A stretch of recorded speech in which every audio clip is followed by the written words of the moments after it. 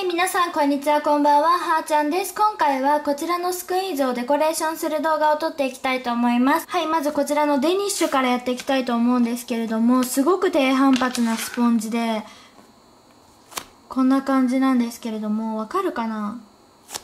こんな感じですっごい低反発なんですよ。扱いに気をつけていただかないとこの季節ねこうくっついたりしてしまうのでこう暑い場所とかに置いてしまうとコーティング剤がこうくっついてしまうのでそれはご注意いただけたらなと思うんですけれどもこんな感じの触り心地になっています。で、えっと、昔結構デニッシュ作ってたんですけどその時をイメージしてこういつも最近は滑らかにスポンジを滑らかにやってるんですけどデニッシュなのであえてこうちょっとボコボコした感じのデニッシュっぽい感じの質感で作ってみました。ホイップはいつも使ってるんですけれどもシリコン使っていきます。そしたら中にホイップ入れていきます。とこれはねといちごのデニッシュ。いちごのデニッシュにします。はいこんな感じでできました。後からソースか何かかけるかもしれないです。したら次。はい。いちごとバナナとブルーベリーとなんかぶどうみたいな実をのせます。これものせてもいいかな。ここら辺にのせようかなはい。はい。えっ、ー、と、リーフもね、乗せていきたいと思います。はい、こんな感じです。はい、こちらにもこんな感じでね、リーフをつけたいと思います。2個のデニッシュができました。では他のものでこっていきます。はい、次はこちらのケーキです。こちらもすごく触り心地が良くて、こんな感じで指が埋まる感じの触り心地になっています。上から触るとこんな感じです。ちょっとあんまりこう思いっきりは触れないんですけれども、こんな感じです。思いっきり触るとすごく柔らかくて気持ちいいんですけれども。にデコっていきます。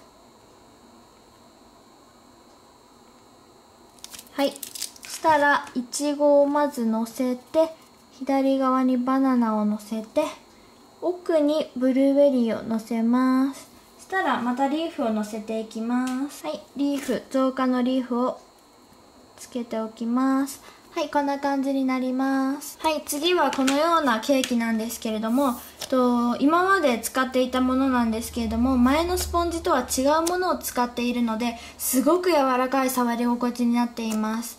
で、このスポンジではもう作ることはできないので、こちらはね、結構レアなスポンジの触り心地なんですけれども、かなり柔らかくて、結構デリケートな触り心地、スポンジになっております。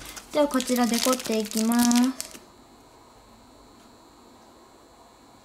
真ん中を中心にまずホイップを絞ってそこからこう3個いちごをこう乗せるような感じでやっていきます。はいこんな感じです。結構シンプルめにしました。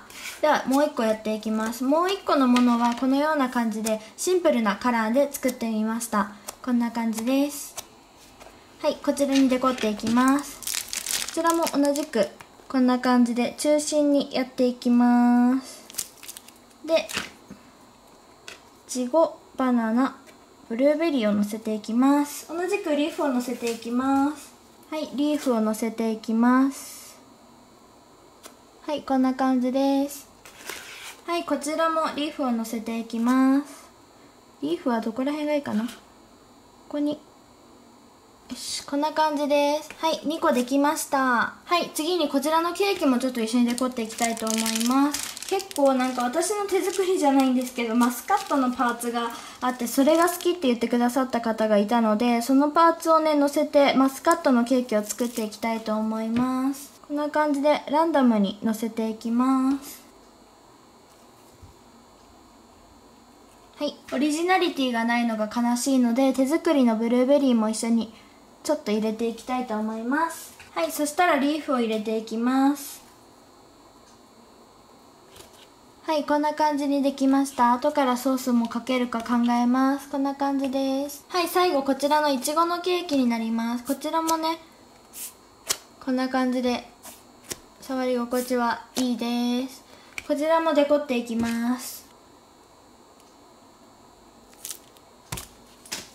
はいこちらもいちごを2つのせていきます。そしたらリーフのせます。はいこちらもリーフを2個つけていきます。こちらも後でソースかけると思います。はいこんな感じでね作品が出来上がりました。こんな感じです。というわけで今回はデコレーション動画でした。最後までご視聴していただきありがとうございました。メルカリにて販売しますので気になるものがありましたらぜひメルカリを見てみてください。出品する時に通知が行くようにメルカリのフォローしていただけたら嬉しいなと思います。ではバイバーイ。